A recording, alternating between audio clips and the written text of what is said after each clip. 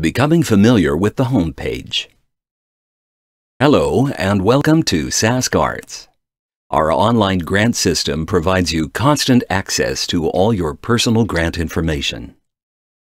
The home page is where you can access everything related to your grants.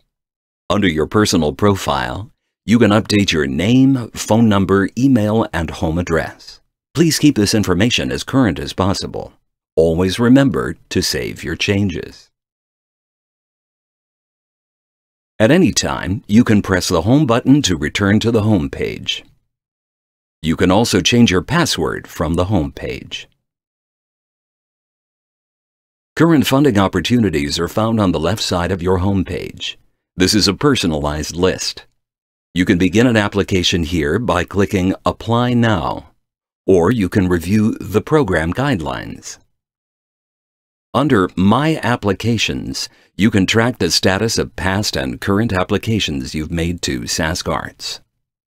The In Progress tab includes every draft you've started. The Active Grants tab includes those that have been approved for funding.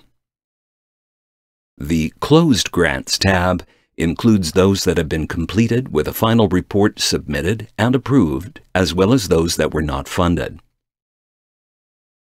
The Overdue Grants tab includes applications that received funding and a final report has yet to be submitted or approved.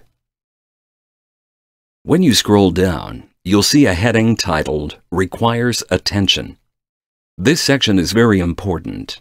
It informs you about what you must do regarding your grant. This can include budget revisions and final reports that require completion. Thank you for viewing this video. Please check out other tutorials to become familiar with our Smart Simple system.